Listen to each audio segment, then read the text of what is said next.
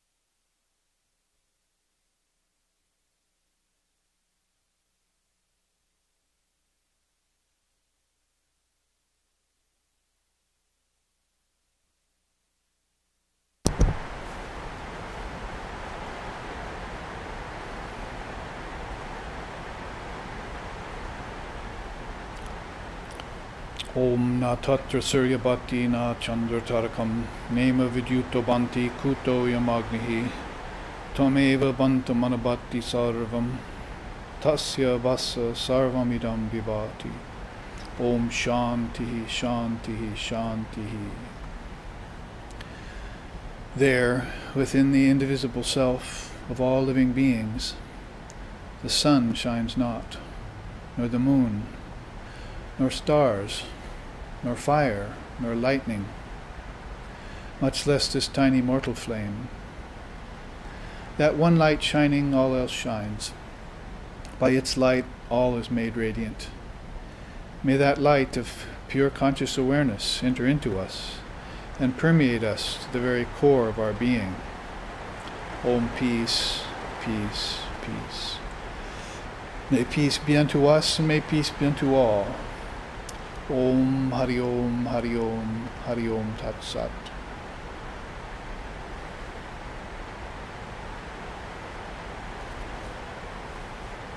Welcome this morning to a very rainy Hawaii. We are turning into live streaming uh, after about a week and a half absence, and we are in the midst of a huge downpour, so we're going to try and make the voice heard today to all of you who are listening.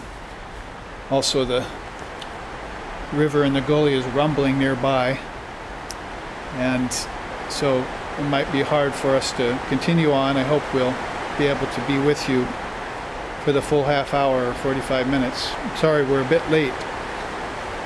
I was able to read the and preview the questions early. So I find that most of these five questions that have come in from some of the viewers are about work. So that's one of the topics that we have to take up in spiritual life. And so I'm going to actually read two of these questions together to show you the way that people are dealing with action and meditation and dharmic life in the world today. One questioner says, Lately I have found myself caught up in the negative actions of others, primarily at work.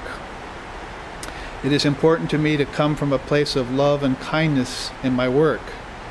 So when someone makes a poor decision that affects me, I feel bamboozled. I know projection and ego are factors, but how can I redirect or confront ill spirited events and stay in sattva? Sattva, of course, is balance. Now, another question says I just got a new job in my chosen career of conservation. I want to make sure that I approach this job dharmically. I think that it would be dharmic to hold an attitude of Bhuta Yagya while doing my work. You have mentioned Bhuta Yagya along with other main yagyas, but I haven't heard much detail about it. Would you say something about it? Well, Bhuta Yagya is sacrifice to the physical beings, to the humans, to the ancestors, and to the animals, and to the insects, plants, everything here in this realm. Actually, not the ancestors, um, although they are here and then pass on into another realm, the kingdoms of heaven within us. But these two questions show us how there's a sort of difficulty in bringing Dharma into the world, into the workplace, amongst adharmic circumstances and adharmic people. So, back to the first question, she wants to know how she can confront ill spirited events and stay in sattva. Well, that is the one of the sub purposes of work. Actually, Swami Vivekananda says that all work should be done as worship and we should labor as love. But uh, he also says that work is the midday sun that is burning the very vitals of humanity. So we see here two different kinds of work that are going on work done for selfish purposes and work done by people who are even minded and who want to be a benefit to the society and to their family and carry on their everyday actions in a in a balanced way. So actually the question itself is rather an answer is that not so much how can we confront these ill factors, but it's that they're going to come and we, we, we have to. There's going to be no way around it. We're going to confront these things. So better to confront them with strength and courage and with one's dharma uh, in, in hand, which means you're going to have to maintain an, a spiritual practice constantly that'll keep you in balance because it's all very easy, as we know, to meditate in a forest or near a waterfall or in a cave uh, when all of the problems of everyday life and especially in the cities and so forth are not around us. But when we get in the midst of them, it's the real testing ground. So we're going to have to put our practice to test then. How much, how much have we gleaned from our readings and how stable are we in, in meditation and and uh, as the second question here proposes, um, can we look upon everything as uh, as uh,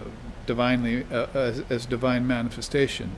All bhutas, all physical things that are here in this particular realm, we have to look upon all of that as as uh, as divine, and so when you come to a question about Bhuta Yagya, it means Yagya is that word called sacrifice. And it's a sort of a lost art, Yagya. Bhuta Yagya, Pitri Yagya, uh, Deva Yagya, Nara Yagya. And these are all sacrifices that the ancients performed so that they made sure that all levels of existence were appeased, uh, that everyone received their their due, what they were due to in their lives and in their in their actions, and uh, then the whole circle of life could go on in harmony. Could carry on our, our activities in a in a mode of of love and care, as the first questioner says. So, if you ask about Bhuta Yagya. What should I, she says, what important points should I consider and keep in mind while I practice Bhuta Yagya?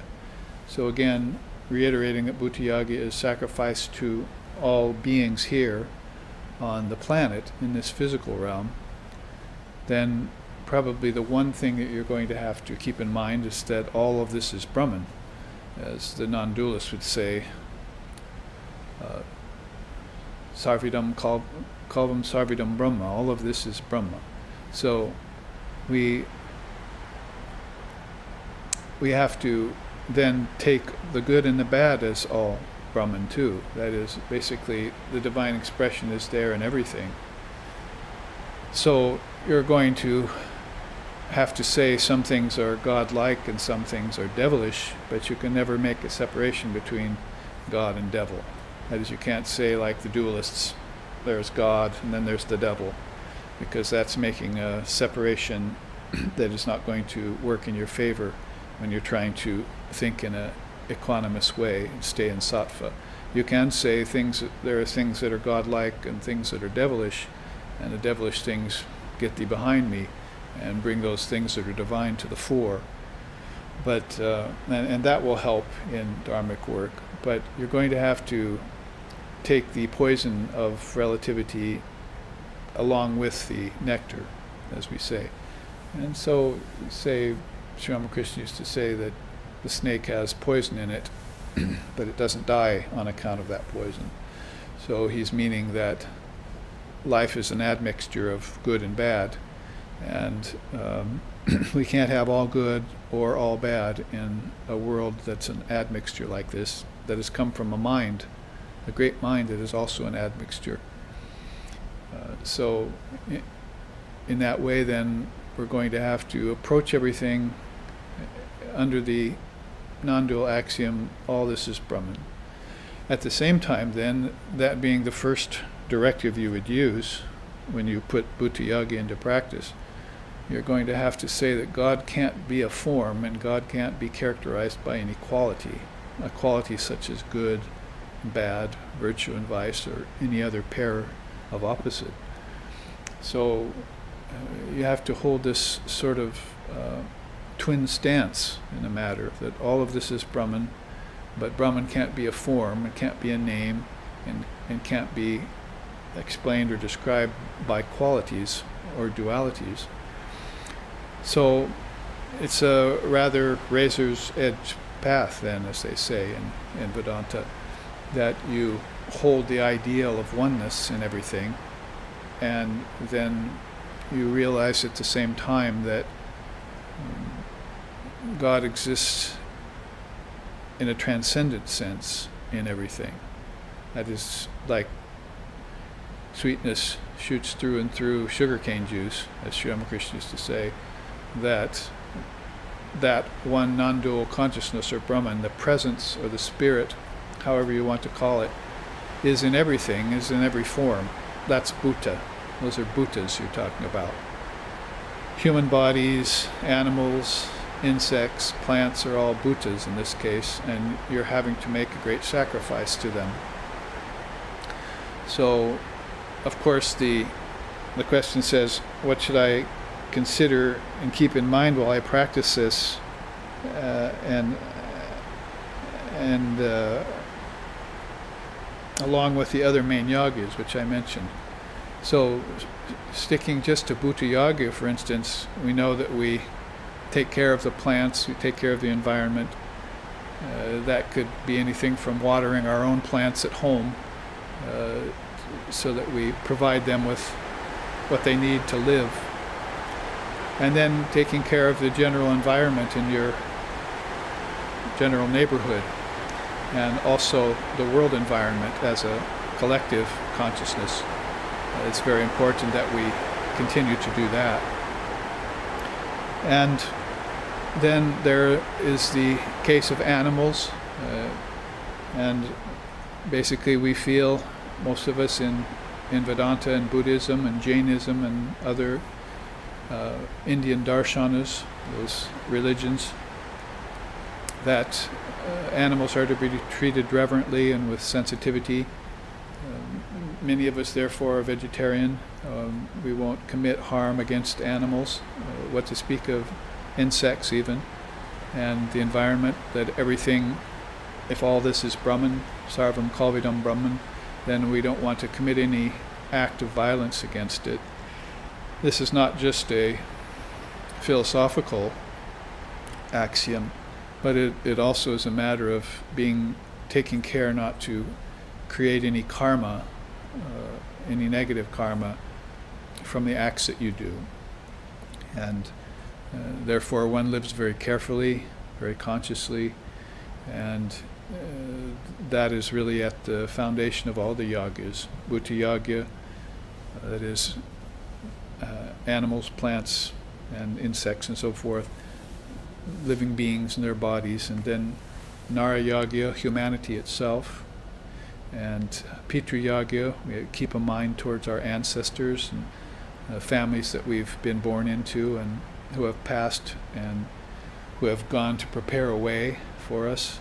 Uh, uh, ho- hopefully, they've lived conscious lives too, and uh, that will, of course, pave that way to the to the light after we drop the body. And then there's uh, uh, worship of the gods, which some of us are involved in. That's called Deva Yagya. Deva is important because just as the kingdoms of heaven are within you, so are there deities in each of those heavens within you. And those deities need to be appeased too. They need to be satisfied uh, in order for the, them to pave the way inward in your spiritual life. Your spiritual life means not just your daily life, but your meditation, your daily meditation as you try and move inward towards your center, towards your essence, towards your true nature, your swarupa. And so you're going to want to have the right coinage, as Sri Ramakrishna used to say, to pay uh, the ferryman as, you move in towards these different inner trajectories or inner worlds, these lokas or these realms. So that's by way of analogy or metaphor, but uh, the actual meditation and and your actual sleep tonight, and you're going into dream and you're going into deep sleep and so forth, is is a sort of movement of the mind in the realms of consciousness. My father's mansion has many chambers, uh, uh, has many rooms in it. See, and uh, those are all rooms of peace and rest and uh, and sojourn. Christ said, "We sojourn amongst those realms." So we want to make sure the way is clear, is kept clear, and that's what yagi or sacrifice is all about. If you, if society or as an individual or as a family, you you lose the art of sacrifice, then it's going to there are going to be many impediments that fall in your way, and you're uh, you- you're going to lose your way and become confused. Bamboozled is the word that was used just here. See, I feel bamboozled in the workplace when uh, people do errant acts and have errant thoughts, and then it affects other people. So it really begins with you, and you have to be an example for those people who are as yet still making these kinds of errors. And if you get off base or off balance, then of course it doesn't help anyone. You have to uh, do your daily sadhana and, and stay balanced and face off with those and and remain detached and calm is the word here. Uh, there's one more yagya that's very important in the yagyas. That's called rishi yagya. I I think it's probably the most important uh, because the rishis were the great teachers that came to us, and they have left behind sure and certain proofs of God's existence, and they have uh, opened our eyes to the teachings, the Dharma, via the scriptures, especially the revealed scriptures. And in that way, they deserve all worship. Uh, they are actually residing within us too, just like the gods and goddesses are, and just like the ancestors are, and so are the animals, insects, and plants, and this whole world residing within you. They started out within you, and then they manifested outwardly from your thought process. So the tree is now your thought, your your object tree, because it started off as a thought tree. So these levels of being that waking, dreaming, and deep sleep they call them, or we call them uh, stula jagat, sukshma jagat, and karana jagat. That means the gross world, the subtle world, and the causal world are three levels of your consciousness. Uh, and one's made of matter, and one's made of thought, and one's made of seed essence, bijams. So as you step inward uh, like that in your meditation or in your contemplation process, say when you pick up a scripture, you're automatically dropping this world and you're going to the second world when you're reading bits of wisdom. And you're already living in that sukshma jagat, even though your body is still inhabiting the waking state. You're kind of in a deeper dream state. So making these connections and keeping these connections clear is what's important for the householder uh, and the dharmic practitioner. And uh, sacrifice brings forth the rain too.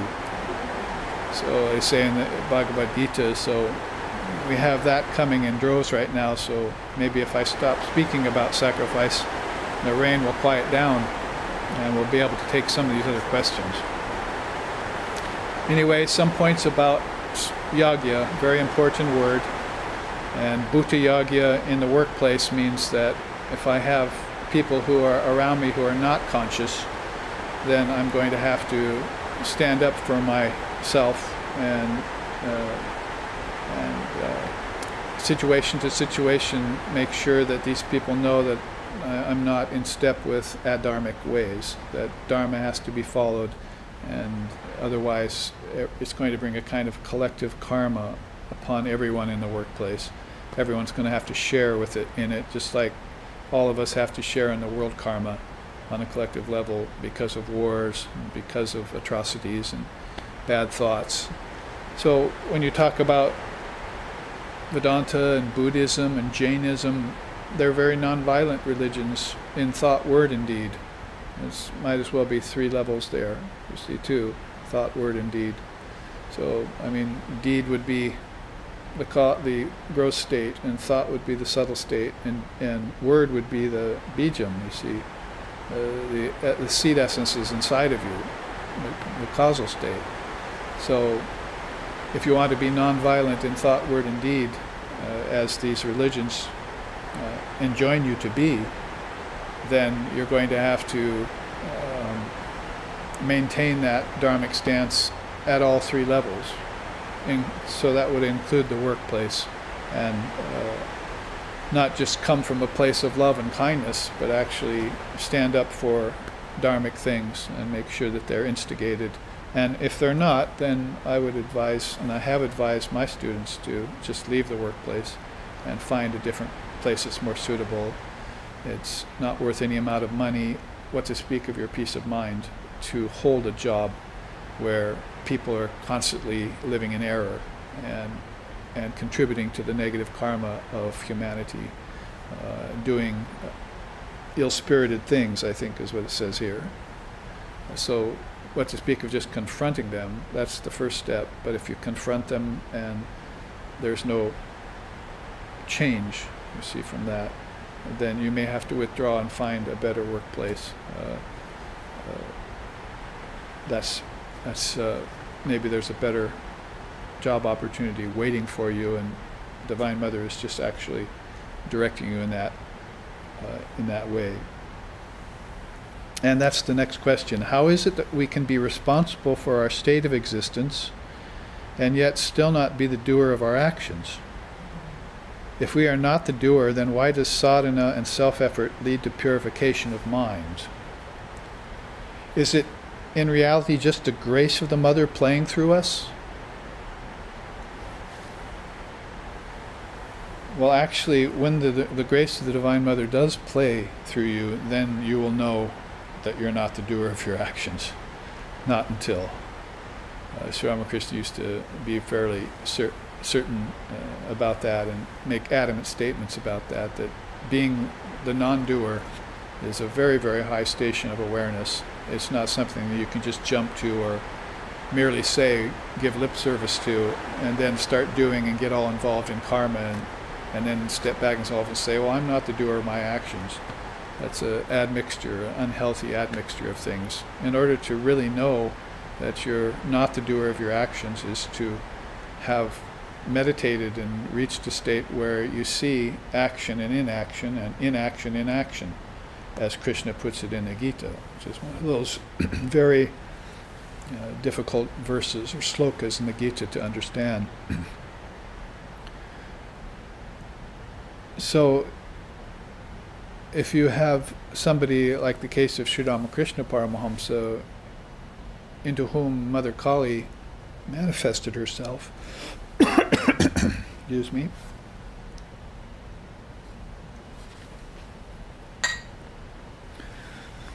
then you have a person who is manifesting the divine in every thought, word, and deed, and uh, it is really living in a state of, of inaction.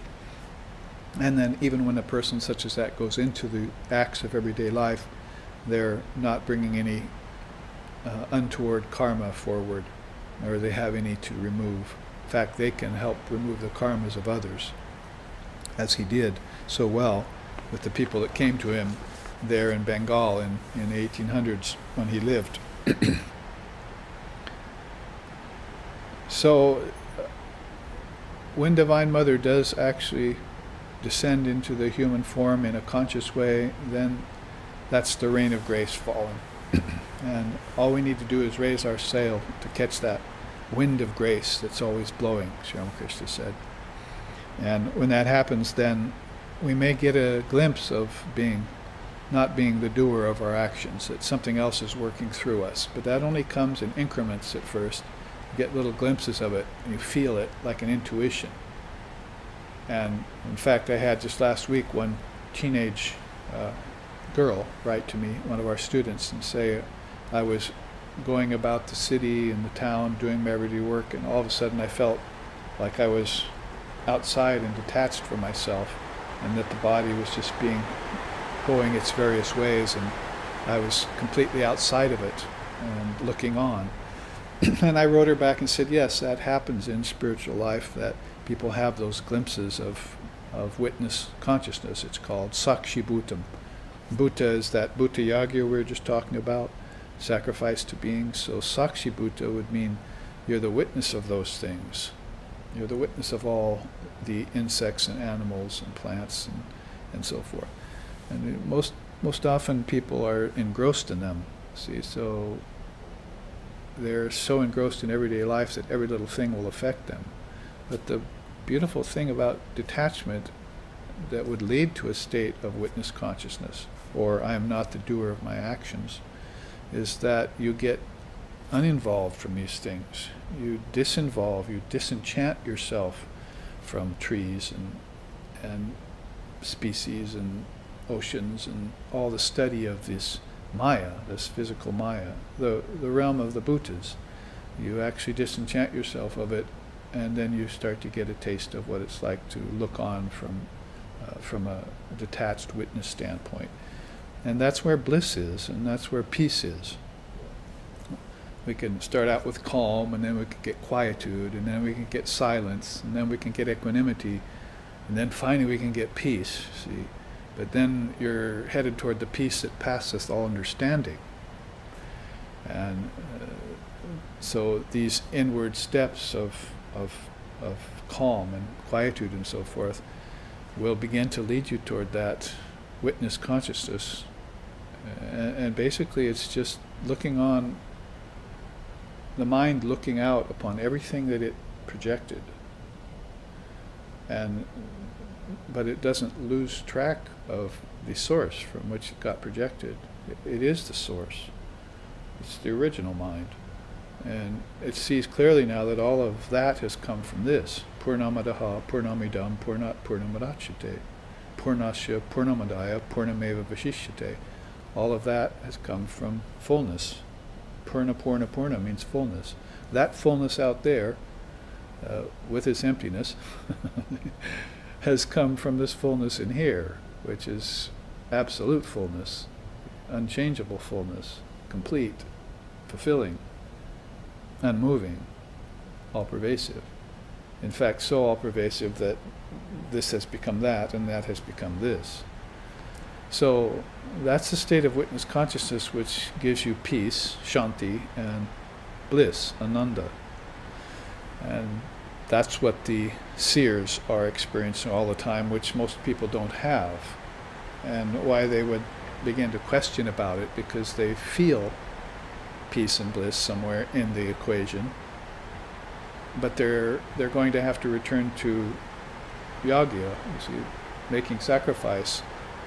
Actually, making sacrifice isn't just like uh, watering a plant or or sacrificing a goat at a temple or something. You see, uh, these different kinds of ideas people have. Really, sacrifice is just becoming aware and treating everything with reverence.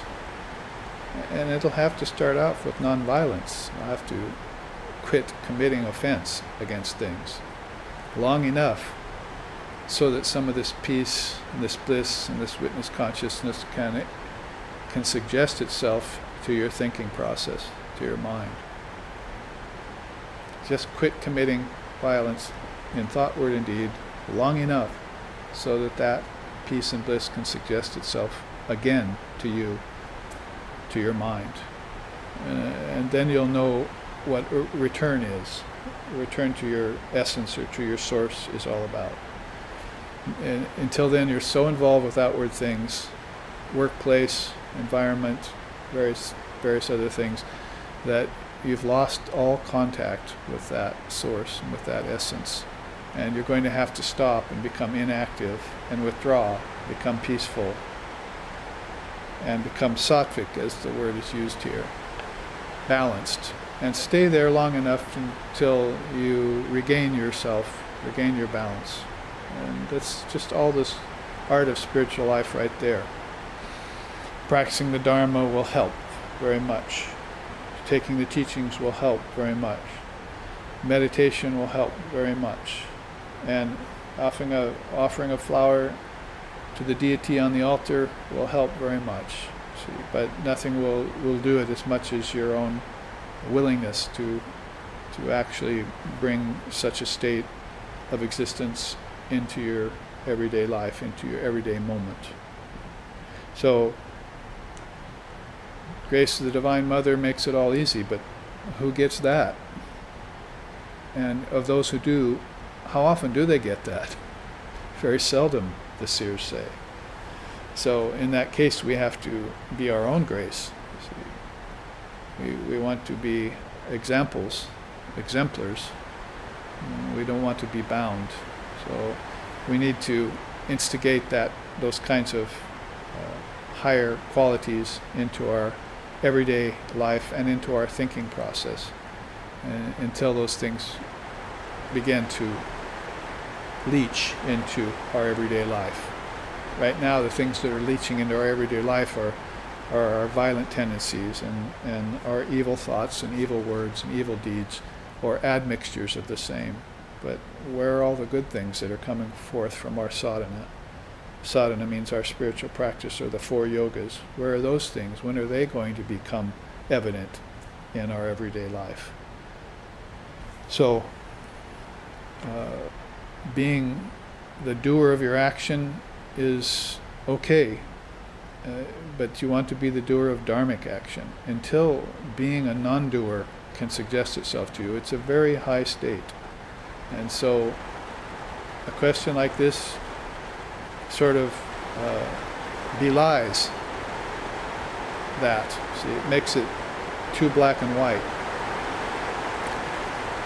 You've got to rem- remember that uh, by by stages, a spiritual practitioner moves inside and acclimatizes him or herself to these deeper regions of consciousness. And then things like non doership will happen by increments in little glimpses. In the meantime, your business is just to make sure that your actions are dharmic. And you can be the doer of your actions. In fact, you'll have to be the doer of your actions as long as that's going on, that kind of process. You just don't want to be the doer of negative actions. So I hope that clarifies it a little bit more. Make sure you make this distinction between uh, ill advised actions, dharmic actions, and non action. There's a big chasm between all three. It's not just oh, so easily defined, you see. Non doership is very, very high. We started late because of the rain, which is still trying to drown us out, but uh, we are coping as best as we can.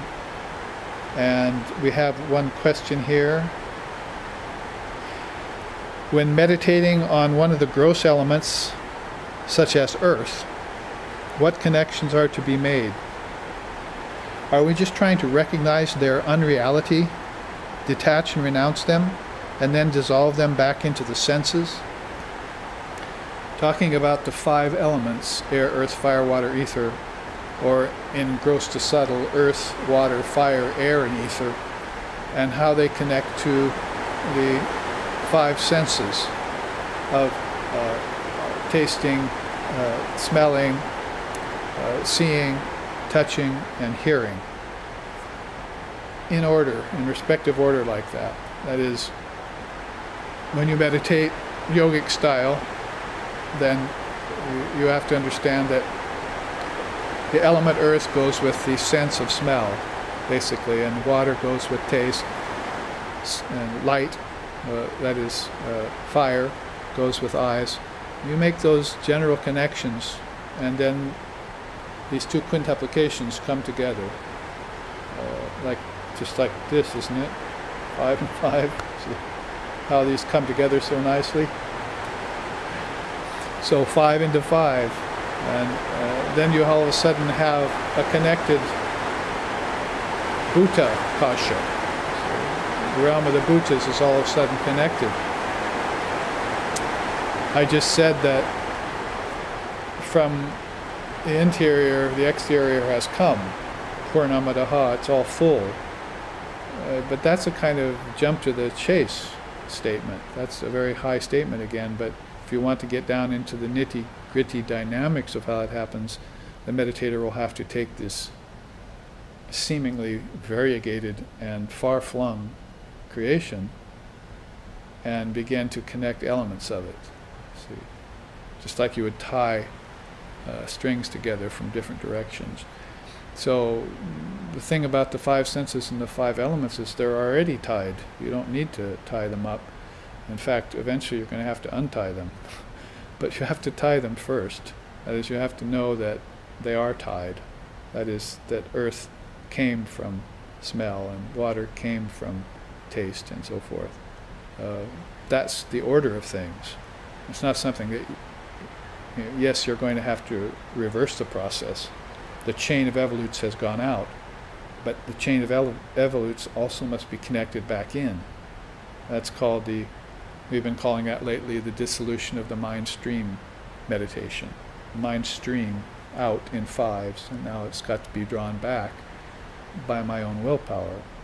Then the class today, the first class in the series today, uh, live streaming class, will be on dissolving the mind stream in Sankhya Yoga, which is one of the earliest ways in which they conceived of it, the five quintuplication processes. Pancha Karana, they call it. So, making these connections then consciously, because they already are connected, but your, your consciousness isn't there thinking about it. You're not thinking that water goes with taste and earth goes with smell. You're just experiencing water and experiencing smell, or experiencing earth and experiencing uh, uh, uh, these five elements as separate from each other and as separate from your senses. They only come in contact with each other when you want to enjoy, see, or when you want to satisfy hunger or thirst, earth and water, right? But now you have to bring them together as companions in life, uh, always interrelated companions, that they always were connected, but you fell out of connection with them, fell out of consciousness of the connections. So, with that kind of introductory background, then this question makes a little bit more sense to those of us looking on. Um, what are the connections to be made? Those precise connections. If you want to specify just earth with a smell, then you're going to want to meditate on earth in every way you can possibly think of it. Uh, all the metals, all the woods, uh, all the different kinds of chemicals and, and soil and planets in space, those are all Earth, aren't they? So you can see how far ranging Earth is. So you get this massive view of what Earth is. And also microscopic view of what Earth is. Inside of a little handful of dirt, there are all these energies and powers, shaktis. So you're running around in this little tiny handful of Earth. So from the microcosmic to the macrocosmic, you try and meditate on Earth as a, as a ground. You take Earth as a ground for your meditation. Uh, you may have been meditating on light, or you may have been meditating on Buddha or Krishna or Ramakrishna, but for this particular meditation, to make the connections clear to you, you want to meditate on earth in as many ways as you possibly can. And then the question is are we just trying to recognize their unreality, detach and, and renounce them? Well, I would say that that sort of happens naturally when you see, when you meditate upon earth and see how it changes, how there can be landslides, how there can be suns that explode or planets that, that get destroyed, uh, that there's this process of, of creation, preservation, and destruction going on all the time in the realm of the Bhutas. So that's you did the Bhuta Yagya. So you know you were reverently treating everything. Well, it's the same way then with this meditation. Uh, it's not just to see the unreality of it, but it's to make the connection that it has come from within you. Earth has come from within you. How do I get there from this broad meditation or this microscopic meditation that I've just taken up? I get there by meditating on Earth in my dream. Now I have to take everything that I just saw outwardly uh, and meditate on it in a dream. Earth in a dream.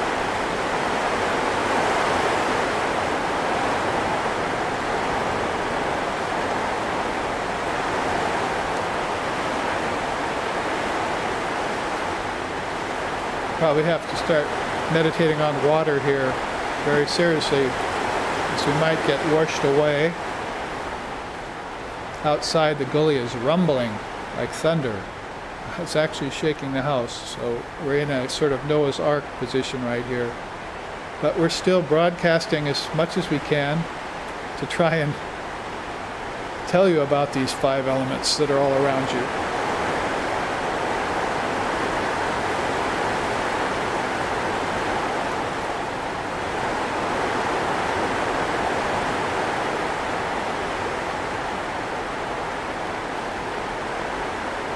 So this these connections that you made it's not just to dissolve them back into your senses because your senses shut down in dream, right? When you go when you leave the waking state, you leave the bhutakasha and the senses shut down. So now you have subtle senses in your dream. And earth in a dream and you have smell in a dream. And now you want to meditate on earth there in that subtle state. And you see what's happening here is you're beginning to allocate the first world to the second. The A of Om to the U of Om. You, you have to connect the three matras, right? Of Om, A, U, and M. You've heard that teaching. If you leave A, U, and M, that is projection, sustenance, and withdrawal, separate, then you never have a comprehensive or cohesive realization of who you are and that the Word is within you and the Word was in the beginning and it was with God and all of that. So you never get there, you see. So by making these connections in this way, then all of a sudden you, ha- you understand earth and you understand smell as they connect at two different states of your awareness waking and dreaming. Now, the marvelous thing is that how they all disappear in deep sleep. That's the final mode of meditation in this particular kind of meditation called alam- alambanic or alambanas. Father of Yoga wants you to do this kind of meditation so that that you know the kingdoms of heaven are within you and you know that all of this has come from within you. And now all of a sudden you're having this these realizations because you're actually involved in the process yourself. So the causal state, karana jagat, the causal world is formless. That's where the seeds are to everything, the bijams. Thought was the second world, and the, and the first world was was matter, matter, thought, and seed essence.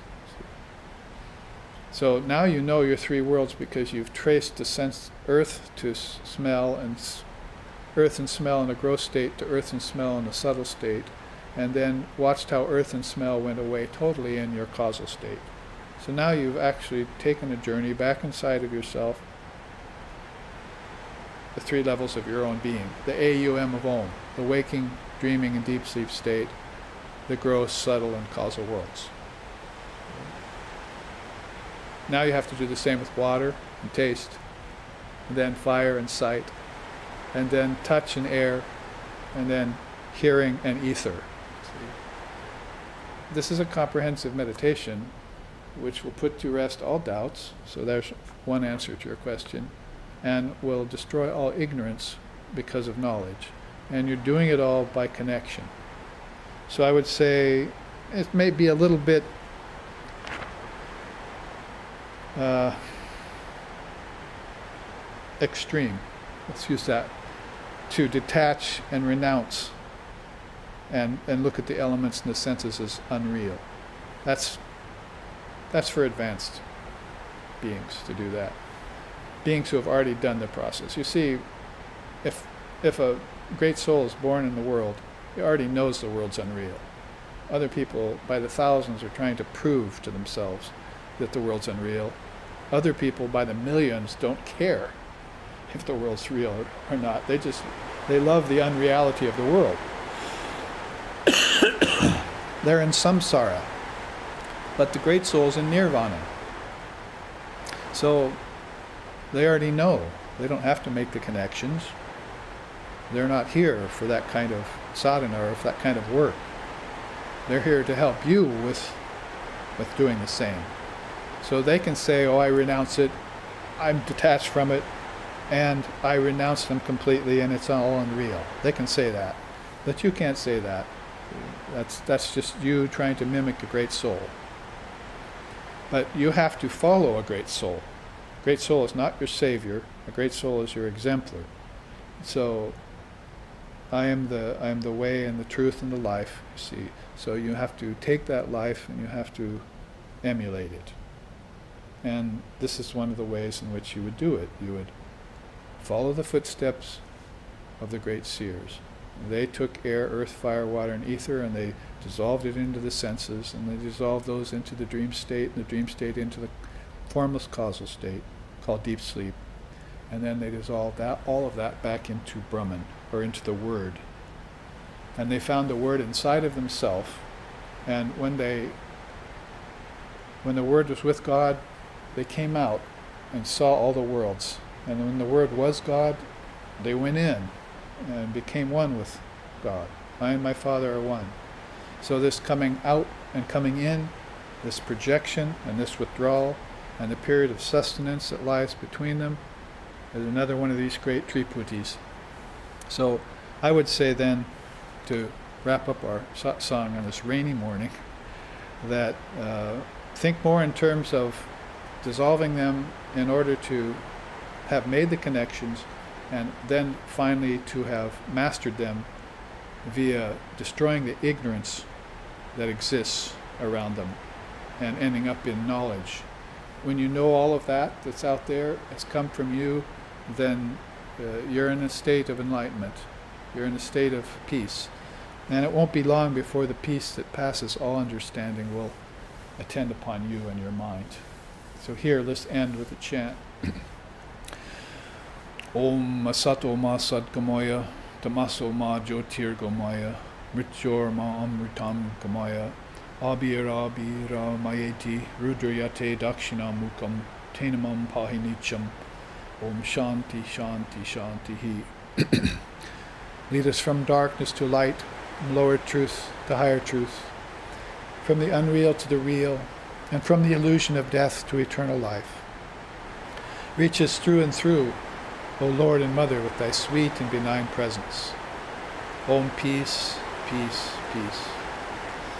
May peace be unto us, may peace be unto all. Om Hari Om, Hari Om, Hari Om Tat Sat.